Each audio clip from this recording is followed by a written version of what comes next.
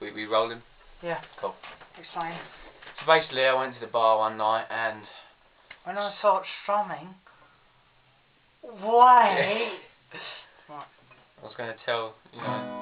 But basically, I was in this bar one Friday night, and there was this really hot girl across the other side of the bar, sipping on a Bacardi Coke. But as I looked down her body to check her out, I realised she had rock hard nipples.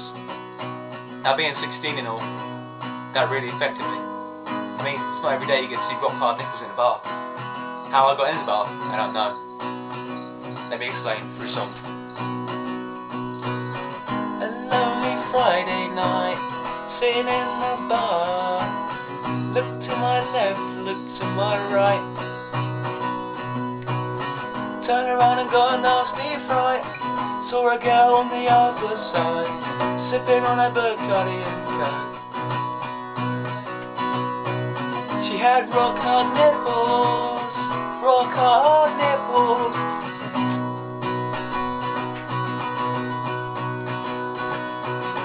I started to walk over. I was like a tiger, pounce on her. As I got closer, I started to feel fine. Cause she had rock hard nipples.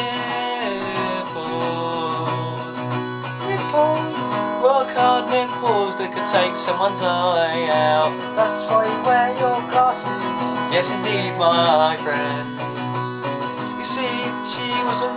No rich girl. Hourglass body, perfect physique, and she had humongous tits. Don't forget rock hard nipples. Oh God, it turned me on. I started to get sexually aroused. Couldn't help it. I was 16. She had rock hard nipples. I really couldn't help it before I could say a word. She said, Are you okay? I said, I'm pretty fine. I started to feel like. I think I'm gonna come. How embarrassing. I'm doing it again most stop the song does think I'm good. Just reminding me about the nipples, nipples, nipples. She had humongous rock hard nipples, nipples. Okay, dude, stop, ah, stop, ah, stop. Nipples, ah. Sorry.